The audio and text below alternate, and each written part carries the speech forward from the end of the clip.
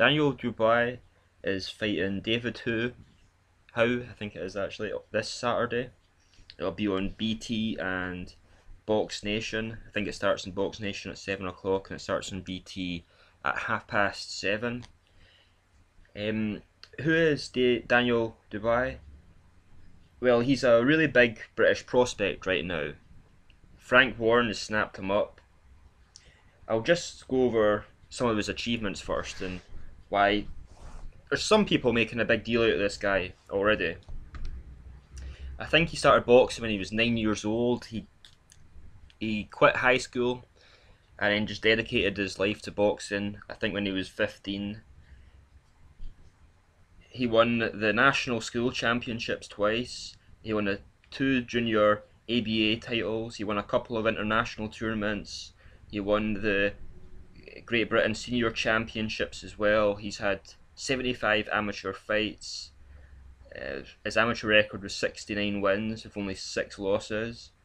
He turned down an opportunity to be in the Tokyo Olympics, so he could turn professional at 19, and he's he's still 19.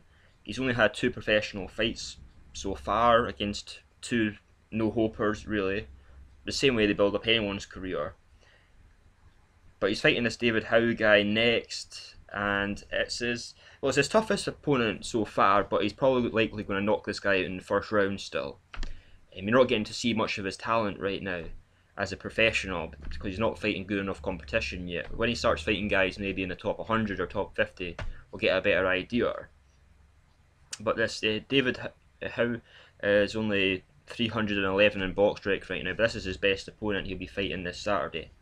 Uh, I would be watching it myself, but I'm away this weekend, and I'm not going to be able to do it unless I can find out how I can watch it on my iPad. Um, yeah, he thinks he can be world champion by the time of the next Olympics anyway. Frank Warren obviously has a lot of faith in him. Frank Warren's had him inspiring guys like uh, Tyson Fury, uh, Hughie Fury. Um, he's been he's also been sparring Anthony Joshua, Joe Joyce as well. The rumours are that he hurt and dropped some of these people. Actually, there's rumours he hurt and dropped all of them, but uh, I can't confirm any of them. It's just rumours, and just like I say, it's just sparring as well. Here's a quote from what he said about sparring Anthony Joshua. It was a good spar. I acquitted myself well. I stood my ground. I hit back just as hard as he hit me. It was a competitive sparring. And he says with sparring all these guys as well, um, they don't hold back against him and he doesn't hold back against them. It's proper sparring, he says. He has ambitions to win lots of little titles before he gets to the top. If he gets to the top, of course. He's talking about the English title, the British title, the Commonwealth title. He wants to win a European title as a professional as well. Uh, probably aiming to do a, a international WBC title or, or silver WBC title he says he wants to win a lot of belts. Uh, it's just like I say, he's still 19. He stands at six foot five, 78 inch reach, and at 19 he already weighs 232 pounds. The only fights he's had so far is against Marcus Kelly, which was just awful, and a guy called Blaise Mendouo.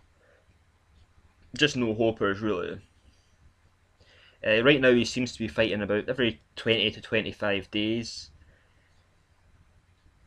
He's, uh, he's he thinks he holds a world record for press ups. He says he can do 6,000 press ups in three hours. This video I'm showing you right now is uh, a good fight, a good amateur fight with Daniel Dubois and Solom Dacres, who's a he was an English or a British silver silver medalist as well. And you get to see a, a bit of a taste of how good this guy actually is. He has quite a good jab. Uh, he's quite powerful. How powerful is we don't really know yet. Um, I think he looks like a really good talent from what I've seen of him so far, from limited professional fights and what I've seen of him as an amateur as well. Um, he looks like he could be a top 10 fighter. Really does. Of course, he could have weaknesses. He could be David Price he could get knocked right out by the first tough guy he actually comes up against. It happens. Uh, Audley Harrison as well. He just um, he was a good amateur, but didn't turn out to be a great professional either. So it does happen, but um, from what I've seen of him so far, and realizing he's only 19, he's still progressing. It's going to be a few years, or two or three years yet, until he's actually fighting at the top level. That um, yeah, I really can see this guy being a top 10 fighter two or three years down the line. Uh, I really can. Maybe not two years, but three years down the line, I really can see him being that way. I mean, Dillian Whyte's a top 10 fighter right now. Doesn't have the same skills as this Daniel Dubois. He's um, not got the same amateur background as Daniel either. Dillian White doesn't have the same amateur background. Uh, doesn't look like he has the same skills either. I mean, this guy looks more skilled than Dillian White already, and he's bigger than Dillian White, and he's athletic looking as well in the ring. So yeah, this guy could really be a top ten fighter. This could be, I mean, this is really a future contender. I think I'm looking at right now. So I've just shown you this video of his amateur fight, uh, just to give you a, a good idea of how good this guy was. I think this is maybe about a year ago now. This uh, this fight. But uh, you can't really learn. You can look him up his professional fights, but uh, you really can't tell much from him because he's fighting. It's pretty much a, a one-sided beatdown. Both these fights, a first round knockout and a second round knockout. But um, I'm impressed with what I'm seeing from so far. Um, just like I say, I won't be able to watch his next fight until I get back uh, from holiday next Monday, and I'm expecting a first round knockout from him as well. So I just thought I'd give you a heads up on this guy, let you know what this Daniel guy is all about. But uh, Frank Warren is looking at him as his main cash cow in the future, a bit like Eddie Hearns has looked at Joshua that way when he was coming up. So there's going to be a lot of money getting invested in Daniel. He'll be getting the best sparring possible. He already is against people like uh, Anthony Joshua, Tyson Fury, Hughie Fury, Joe Joyce. Daniel, Joe Joyce won. He should have won an Olympic gold medal last year in the Olympics. And Daniel Dubois looks far more impressive than Joe Joyce does. Uh, Joe Joyce, yeah, he throws a lot of punches, but he doesn't look like he has the, the skill or technique of Daniel Dubois at all. So, I mean, what do you think of this guy? Do you think this guy could go quite far? What do you think of this video of him in this this uh, amateur boxing match here?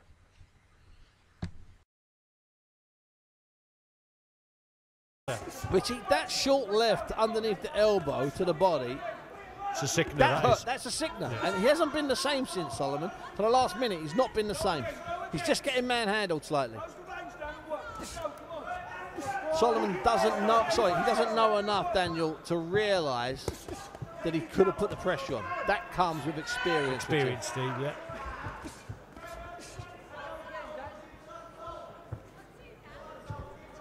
What a group of riches that we have. Joe Joyce, still an amateur. Frazer Clarke, still an amateur. Either one of those two could have been in the Olympic final. And these two also in the mix. It's prize territory, it's rich territory. Another round, Dubois wins it. Solomon doing absolutely the right thing. Just getting picked off occasionally with those big, big jabs. Lee Pullen in that GB corner. Fairly pleased with his man's work. Let's have a look at these scores. No. So one score has gone. Judge B has gone. Ju- One score has gone to Dubois. and, and then two of the three in that round went for Solomon Dacres. yeah. It is all on the final round. All on the final round. He's going to have to be busier. He's going to have to go searching. He's going to have to go chasing. You can't have off nights when it's the elite championships, Richie.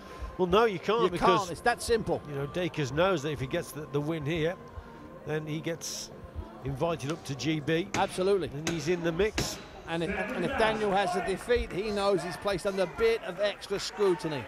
In this situation, you need your heavyweight, your boxer, anyway, to go out and give it all, to leave it in the ring.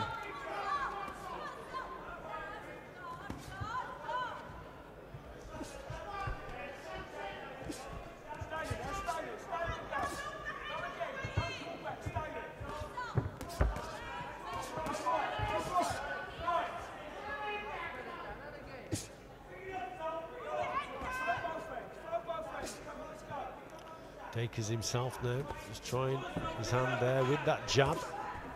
It's not a bad shot. It's a fast shot himself. He tends to throw it from the waist, so it's hard to detect when he does throw it, Dacres. But by dropping his hand there, he gets caught. It's better from Dubois. This, got, is, this is he's what got he to needed. push him back, Rich. He's got to push him back. A bit of urgency. You know, it's not a case of just showing up and getting the title. It's not a case of just showing up and staying on the GB team. There's a lot at stake. Daniel needs to put his foot on the on the pedal and take it to Solomon Dacres. Put him under pressure. By the way, Rich, good quality contest this. Good Absolutely, yeah. quality, technical, brilliant technical contest for two big, raw super heavyweights. You don't see him hanging on, do you, Steve? No, using the jab. fantastic. Not falling Good over, stuff. not breathing out of their proverbial. No. Absolutely quali- quality, technical super heavyweight contest. The bar's just doing the better work now, Steve. Yes, he is Dacres round. is he's probably waiting a little bit too long. But you don't need more. Only three or four. That can change a fight. Three or four punches can change a close fight, Richie. Absolutely.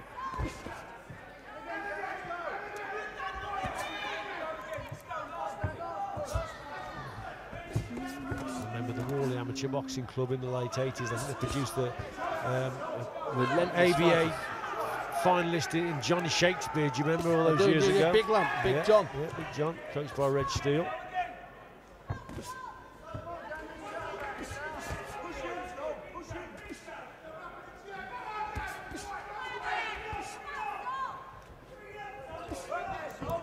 There's not a lot in the round again, Steve, is there? No, there's not a lot in the round, Richie. And I said to you, with 80 seconds to go, this can be decided by two or three big clean punches.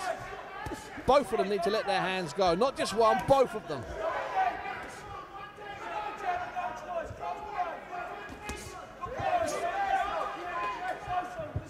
Dubois did the better work in the earlier part of the round, but now Dacres is coming back into it. This is this is wafer tight, wafer, wafer tight.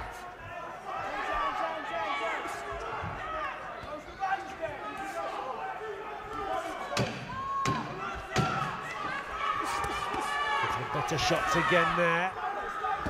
Oh, belting shot from both boxers, Steve. Going for here. If it was the World Series, Richie, then are going to get stopped in the next round. If the rounds in boxing were three minutes, 10 seconds long, he might have got stopped. He didn't. You work to the rules. No good saying if it was 101 metres, I would have won the race. And now, I've got to be honest with you, that is wafer thin. It would not surprise me if there's a bit of a shock here. And the kid that came back with two knockouts and a gold medal from the Tama tournament would not surprise me at all if he were to lose this this evening. Okay, He's Steve, a baby yeah. at 19. It wouldn't surprise me. I think he just did enough in that You last think he round. just did enough? Yeah, I think he just did enough I'm to not win sure it about the, myself. the last 20 seconds yet. I'm not sure about the 80 seconds before that. It's going to be wafer thin. It's going to be a split. We're going to see what's happening.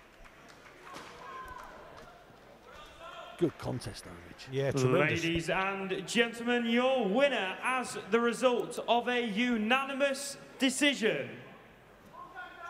Red corner, Dubo!